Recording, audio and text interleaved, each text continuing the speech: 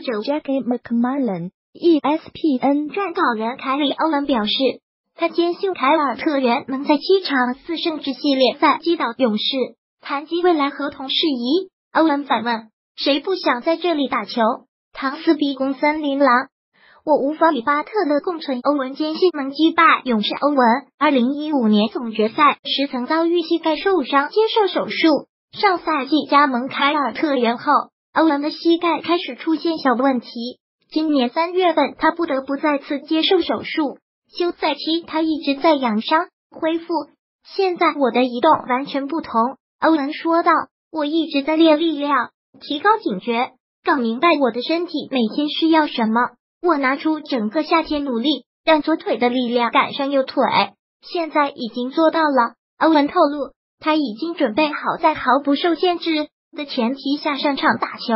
据他透露，之前他曾在西雅图跟贾马尔·克劳福德、扎克拉文打球，他还在巴哈马同杰森·塔图姆、凯文·杜兰特打过比赛，再加上最近几周在凯尔特人训练馆跟队友们的合练。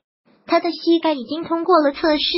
我们的训练赛在另一个层次上，欧文说：“我的意思是另一个层次。你无法相信我们在训练中做了什么。我们已经迫不及待迎来新赛季。现在，当我攻击篮筐，我能保持力量、运动能力。所以，当我杀到篮下，我拥有全部选项，毫无限制。我可以找自己的投篮点，感觉远比之前更好。”上赛季凯尔特人在伤兵满营的情况下仍杀入东部决赛，他们拼到弹尽粮绝，最终三到四负于骑士，无缘总决赛。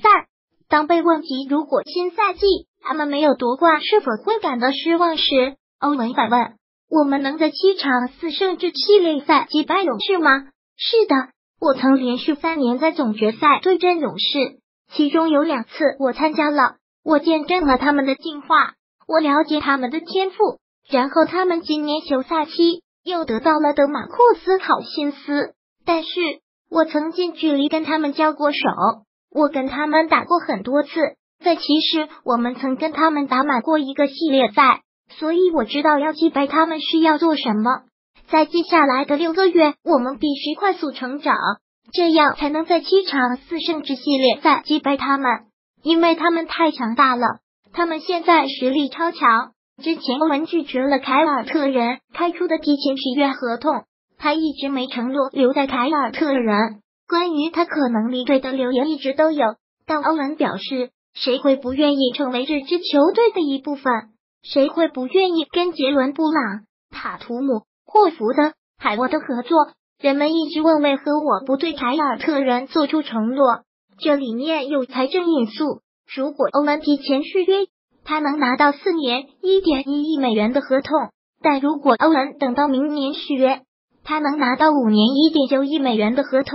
这之间的差额太大，任何球员恐怕都会等到明年再续约。新赛季凯尔特人有冲冠的希望，欧文不希望其他事情令他和球队分心。